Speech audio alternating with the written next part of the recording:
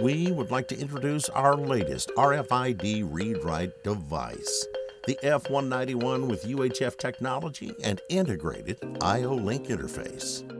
It reliably reads and writes RFID tags in the UHF frequency range and is designed for typical ranges of about 1 meter. The F191 is of interest for anyone looking for a simple and cost effective solution for automatic identification and already using IO Link or wishing to implement an IO Link solution. Additional sensors can be easily integrated via the common standardized interface. With the F191, Pepperl and Fuchs combines a UHF RFID read-write device with an IO Link interface for the first time. The Easy mode of the F191 enables fast and very simple integration. In Expert mode, it is possible to make advanced settings.